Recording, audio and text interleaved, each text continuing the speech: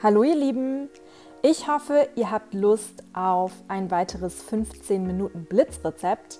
Perfekt für den Feierabend zum Beispiel oder ja, wenn es einfach schnell gehen muss. Wir machen eine Art Laugenflammkuchen.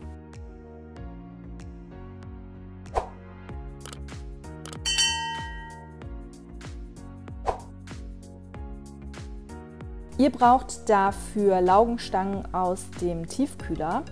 Die ja, gibt es eigentlich so ziemlich überall zu kaufen.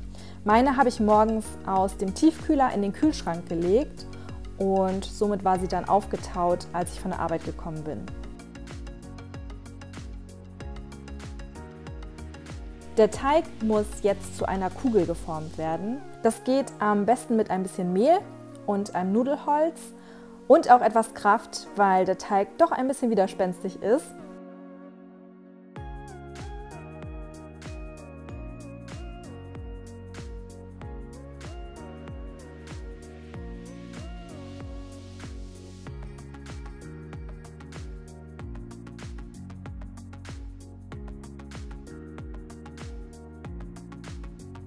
Wenn ihr dann eine Art Kreis ausgerollt habt, kann das Belegen auch schon losgehen.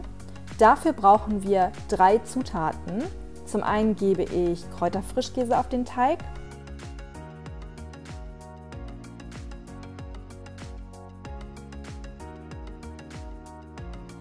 Dann ein paar Schinkenwürfel.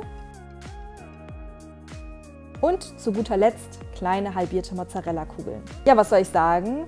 Das war alles. Mehr braucht ihr nicht. Nach 10 bis 15 Minuten im 220 Grad vorgeheizten Backofen bei Ober- und Unterhitze sieht das Ganze dann so aus. Ich habe bei mir noch Basilikum darüber gegeben. Ich hoffe, ihr probiert das Rezept mal aus. Meistens mache ich gleich zwei Laugenflammkuchen. Kalt schmeckt der nämlich auch sehr gut, sodass ich den Rest dann einfach am nächsten Tag mit auf die Arbeit nehme.